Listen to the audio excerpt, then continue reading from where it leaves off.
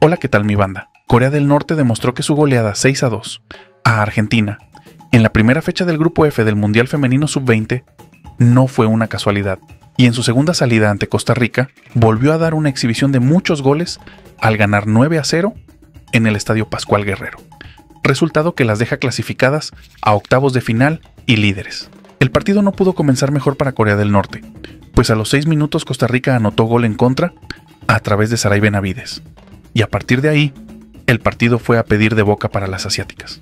A los 8 minutos llegó el segundo, gracias a Chae Un-jong, y la faena continuó en todo el primer tiempo, pues después Il Son Chue, 34, y Mi Ryong Pak, 43, aportaron a una histórica goleada 5 a 0 antes del descanso. En el segundo tiempo, Corea del Norte continuó arrollando a las costarricenses y no le dejaron ver ni una opción tras los demás goles de Kim Song-yong, que quien marcó doblete 49 y 55, más los de Jong Kum, 69, y Choe Kangrion, 85.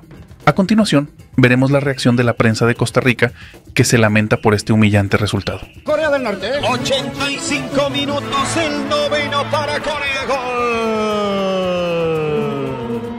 Gol coreano. Cayó el apareció. Ryan Oh. Jugada por derecha. Pelota para atrás, el pase de la muerte. No nos vuelve a perdonar Corea. Tienen nueve sobre Costa Rica.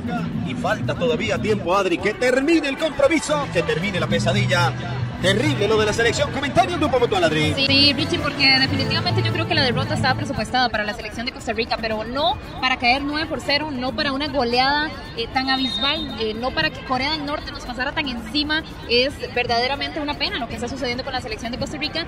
Eh, y con esto también es parte de las peores goleadas de este Mundial Sub-20 femenino. Recordemos que ya Brasil le metió 9 por 0 a Fiji, la misma selección de Fiji cayó 9 por 0 ante Canadá y ahora República de Corea del Norte nos está entonces anotando nueve goles en 85 minutos y por qué no, podría ser la peor goleada si cae alguna otra anotación, porque Adrián, además de eso también, es parte de las goleadas más grandes que ha tenido la selección de Costa Rica en cualquier categoría y también en la historia de los mundiales femeninos. Sí, en el dato claro, siempre conectados con el mejor internet de Costa Rica, la peor goleada que había sufrido la selección nacional de Costa Rica en categoría sub-17 fue de 5 a 0 contra la selección. Costa Rica nunca encontró el camino para al menos descontar y terminaron ganando contundentemente 9 a 0 sumando 6 puntos y clasificando de gran manera a la siguiente fase del Mundial Femenino, Sub-20. Bueno, banda, por favor comenta el video y conmigo será hasta la próxima.